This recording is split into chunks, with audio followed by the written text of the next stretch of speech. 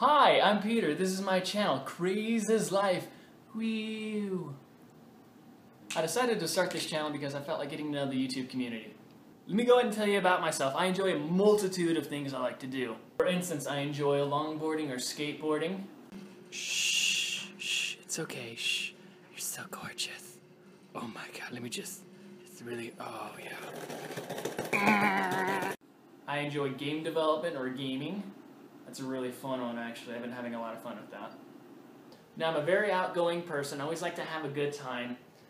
I'm very caring. I'd, I'd go the extra mile to help somebody out, but there's always going to be people out there to hurt. Now here are a few situa situations that I've come across, and I've reenacted them for you guys so you can see what people have said to me and how I've responded.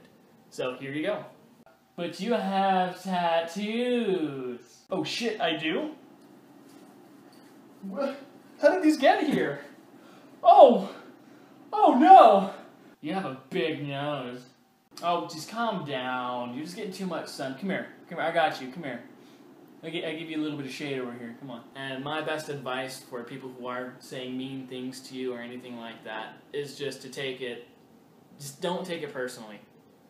Never take it personally and always kind of leave it on a lighter note. Because if someone says that, hey, you're, you're fat, you could say, oh, I'm chubby with pride and they're going to look at you and they're just going to they won't even have anything else to say because they expected it to go negative. Instead it was positive so they're just going to be questioning why they even did that in the first place.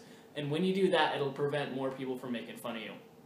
And i just wanted to get this word out because i noticed there's a lot of bullying. Even I, I used to be bullied a lot. I used to take it in a negative way. But once i started taking having a positive twist to it positive spin to it even um, i was a lot happier of a person